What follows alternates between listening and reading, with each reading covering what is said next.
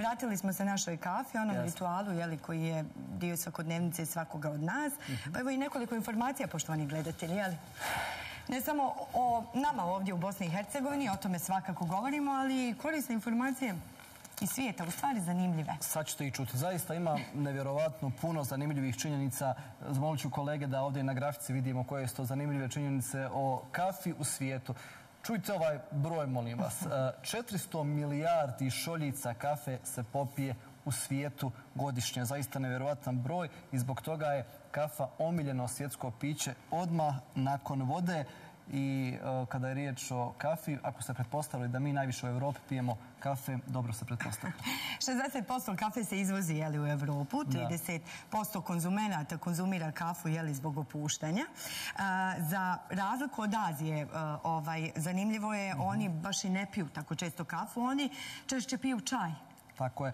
Dalila je spomenula da 30% konzumenata konzumira kafu zbog e, opuštanja, dakle najveći procenat je onih koji zbog toga koriste kafu. Opuštaju se ujutro, e, opuštaju se za vrijeme radnog vremena, nakon radnog vremena, pred spavanje, čak ima onih koji tada piju kafu. A drugi razlog, odmah nakon ovog razloga, jeste da zbog onog kofeina, odnosno želje poboljšati malo koncentraciju. A ako ste mislili da smo mi u Bosni i Hercegovini oni koji najviše uživaju u kafi, ja sam to mislio, nije tako. Možda je nama poznat ovaj čejf u skafu, ali evo skandinavci su vodeće, evo konkretnije, jeli, eh, Finska, eh, jedna osoba godišnje u Finskoj popije čak 12 kg kafe, nakon toga slijedi Norveška, pa onda Island. Da, rekao sam, ovo je poprilično za mene iznenađenje. Bosna i Hercegovina, kada je reč o evropskim zemljama, čak nije ni u prvih deset po broju onih koji piju kafe. Ali ipak u Bosni i Hercegovini preko 65% odrastog stanovništva pije kafu, mada dalo bi se razgovarati o tome oni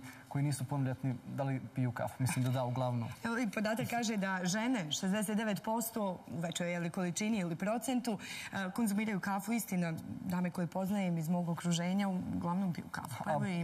Okruženje nam je slično, tako da prilike iste ljude i poznaju. Mi smo htjeli danas provjeriti kako ovdje stani u Sarajevu, ali kasnije vidjet ćete u cijeloj Bosni i Hercegovini.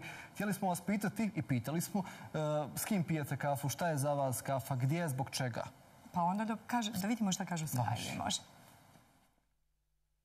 E, da li pijete kafu? Pijem. Koju, bosansku ili espresso? Bosansku. Šta vam predstavlja ta kafa? Da li izgovor za druženje ili nešto drugo? E, da, upravo tako, za druženje. A može li dan proći bez kafe? Ne može. Pa Boga, ja bez kafe ne mogu. Bosansku ili espresso? Bosansku. A šta vam predstavlja ta kafa? Izgovor za druženje ili nešto drugo? Pa i za druženje i, i ne mogu da progledam dok je ne popije. Znači ne može dan bez kafe? Ne može dan bez kafe. E. ne može toga. Ja sam inače s vama živim. Ja ujutru najvolim kad ustanem da mi niko ne smeta, napravim sebi bosansku i polako. Da li pijete kafu? Da. Bosansku espresso? Bosansku, bosansku. Pijem ja šta? Bosansku ili espresso? Bosansku pijem. Koju, bosansku ili espresso? Espresso. A šta vam predstavlja ta kafa? Izgovor za druženje ili nešto drugo? Izgovor za druženje. Aha, a može li dan proći bez kafe? Može. Nisam ja pravi kafeđija, može. Da. Koju, bosansku ili espresso? Espresso. A šta vam znači, mislim, to s kafom, kad pijete kafu, da li kao izgovor za druže ili nešto drugo? Ne, potreba, bukvalno potreba. Aha, a može li dan proći bez kafe? Nikad. Da. Bosansku espresso? Bosansku. A šta vam znači ta kafa, da li izgovor za druže ili nešto drugo? Pa jesti, za odmor. Može li proći dan bez kafe? Ne može.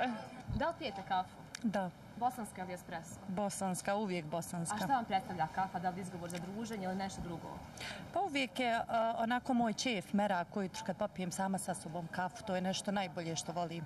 Znači da sa sobom porazgovaram. Može li dan proći bez kafe? Ne može. Očekivanje odgovori. Bosanska ili espresso? Bosanska.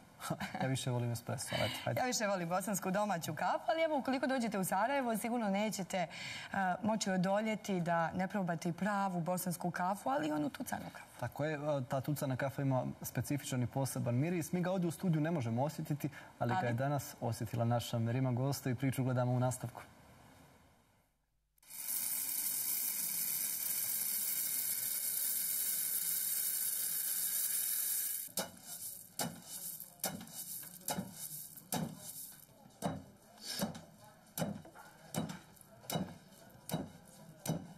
Na ovaj način čuva se tradicija stara 150 godina. Riječ je o porodičnoj tradiciji, a u ovoj radnji na Baščarši svakodnevno se prži i tuca kafa onako kako se to radilo prije mnogo decenija. Kameni divek učini svoje pa se miris ove kafe širi Baščaršijskim sokacima, pa ne nedostaje vjernih mušterija.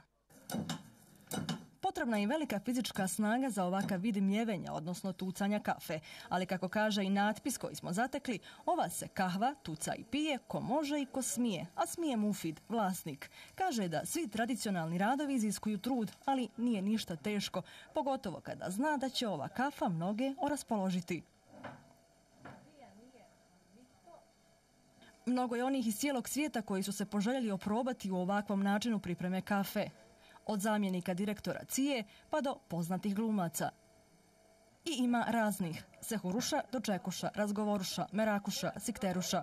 Nama je uvijek najdraža ona dočekuša, a baš takva nas je i dočekala na ovom mjestu koje čuva našu tradiciju.